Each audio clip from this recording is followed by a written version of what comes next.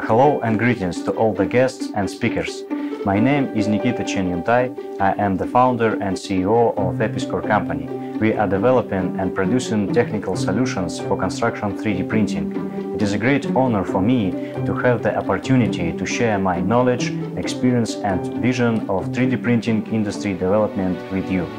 3D printing has been known to the world for a long time. You can print these materials such as plastic, metal, ceramics and even glass. These products are used in healthcare and other industries, but few people know what construction 3D printing is. A house consists of many parts such as foundation, walls, windows and doors, ceiling, roof, plumbing and wiring. And no company prints whole houses. When we say to print a house, we only mean printing walls of a building, because the printer doesn't yet participate in other processes. Construction 3D printing started with large printers beginning to print individual building elements, and then these elements were assembled on a prepared construction site. However, these printers are large and cumbersome, have a portal design, have limits on the height of printed building, and are not easy to transport and assemble. That's why this approach has not made a revolution. Our team was able to take the first step towards full mobility using a construction crane principle, which allows for printing of building walls directly in place. Take a look, the walls of this house were printed uh, completely on site. It is the world's first actually printed house not assembled from printed panels. Now, even though this building was constructed directly on site, printing roof and floor slabs is technically difficult so far, because this means printing horizontal structures. When you print this plastic, this issue is solved by printing supports, which are later removed. However, in case of concrete printing, this is not possible, as removing concrete supports is not an easy task, and roof separately, then their subsequent assembly is inevitable. But I personally do not like this approach, as this is contrary to our main idea printing must be done in place, without additional assembly works, full automation, no cranes, slingers and other personnel, because this is a very dangerous job. I really believe that construction 3D printing can heavily replace traditional construction.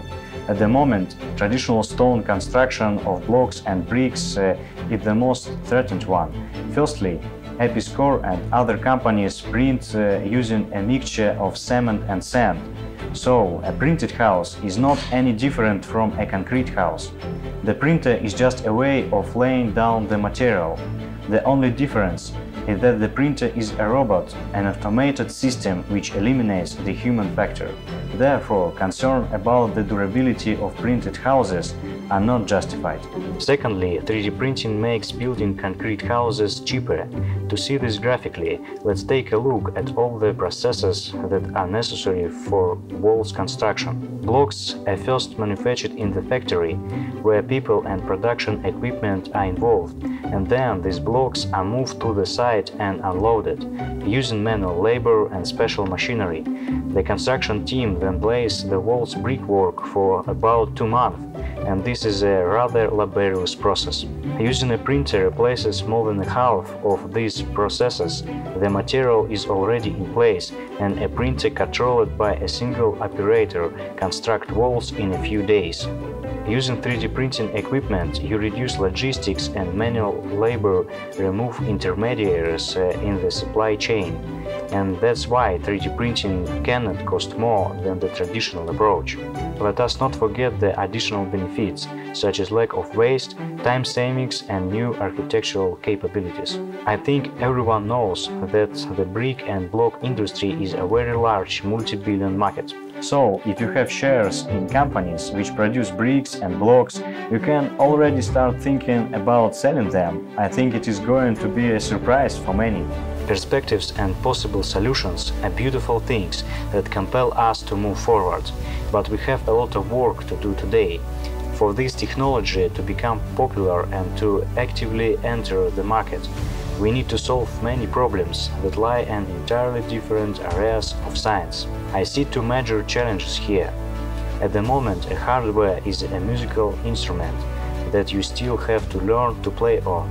So, we need to create a low-cost functional 3D printer that can work in complex operating conditions. We need to bring the degree of automation of the 3D printer to the maximum to reduce the skill requirements of the operating personnel. The technology is at the intersection of software and mechanics. The first challenge is the amount of engineering Developing a mobile construction 3D printer is as complex as developing a car. And as you know, in a hundred years there hasn't been a successful automobile startup, except for Elon Musk's Tesla. The second challenge is to make the construction 3D printing understandable to designers and architects, since any construction starts with a project. As far as I know, there are no methods for the calculation of printed structures yet. To address this problem, we need to research printing materials and their properties, which will then become the basis for the project design calculations. We are now actively working on this task and have the following objectives. By the end of 2018, provide a solution for printing entire houses, foundation, slabs and roofs. By 2019, develop a solution for using 3D printing in high-rise construction and also increase the degree of automation to the maximum, making the equipment almost uh, self-contained bringing us closer to our dream of building beyond the boundaries of our planet. Thank you.